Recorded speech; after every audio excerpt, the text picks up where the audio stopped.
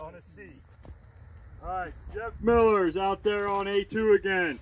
This time it's an Estes Cherokee E on a C. A C11.5. Expected apogee. Some weird symbol, 10,000 feet.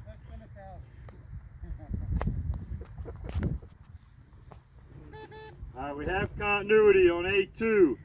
Supposed to be under a thousand. Motor eject, parachute. Going in five, four, three, two, one. There she goes. She's up a little bit of slide and parachutes out. I don't think we came anywhere near a thousand. Wind is definitely pushing us over to the right side there.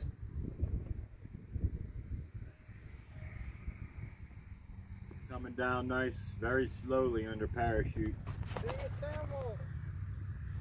It's got a spill hole. The thermal won't do much. Be a nice soft landing when it does hit. Splat. All right, we're still keeping the ceiling at about a thousand feet,